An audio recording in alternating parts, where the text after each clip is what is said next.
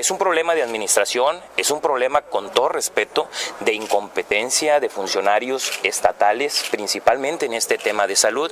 Y bueno, no podemos seguir permitiendo esto. Sé que ya llegó a nivel federal, sé que los diputados federales se han sumado a esta propuesta que hicimos desde el mes de febrero, sé que el Senado está entrando también, sé que el secretario de salud a nivel nacional estará ya en reunión o no sé si ya estuvo en reunión con la misma secretaria de salud, que es algo que estamos esperando nosotros que se nos informe. ¿Para qué? Pues para darle solución a esto.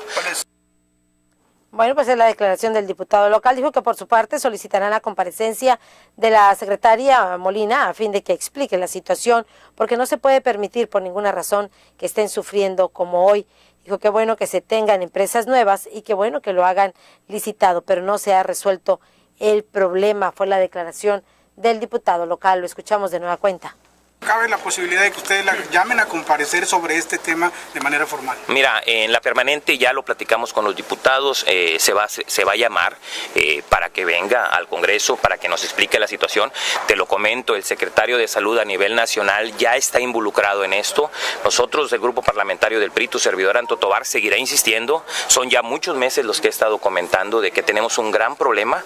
Eh, la intención es que sea la próxima semana en la permanente solicitar que venga con comparecer la secretaria y bueno, que nos diga qué es lo que está pasando. Si es necesario, se pedirá la destitución, necesitamos eh, que se actúe. Si el problema es la secretaria o cualquier otro funcionario en el tema de salud, lógicamente se estará pidiendo.